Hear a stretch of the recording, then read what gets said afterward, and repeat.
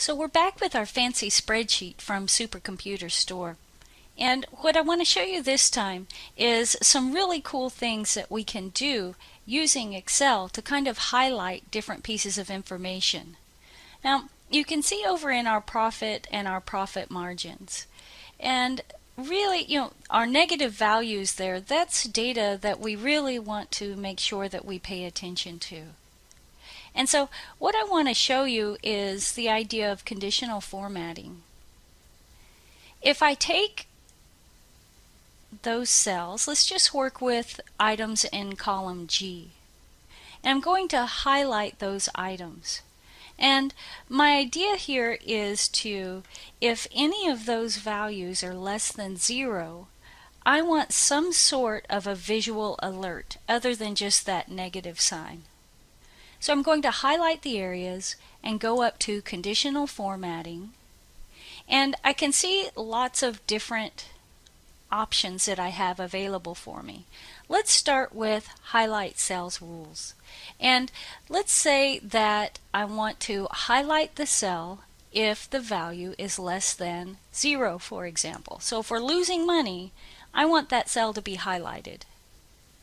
So formatting cells that are less than, and what I'm going to say is 0. And what I want to format them with, I've got some different options here as to how I want it to look if there's a problem. And I'm going to fill that cell with light red fill and dark red text. I'm going to say OK. And let's take a look and see what happens. Now you can see that immediately when that cell, when the data in that cell goes below zero, this guy is red, so obviously a flag. So let's just change the data a little bit.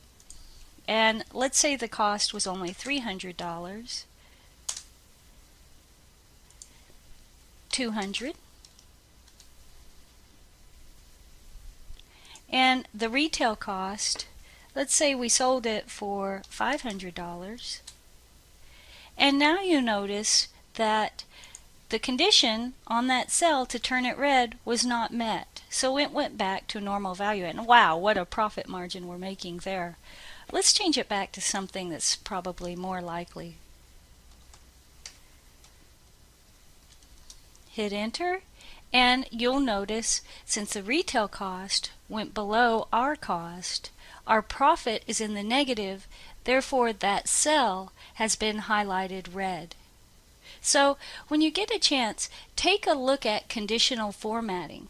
There's a lot of different things we can do to make that data pop out to the powers that be so that they can make quick decisions for the company.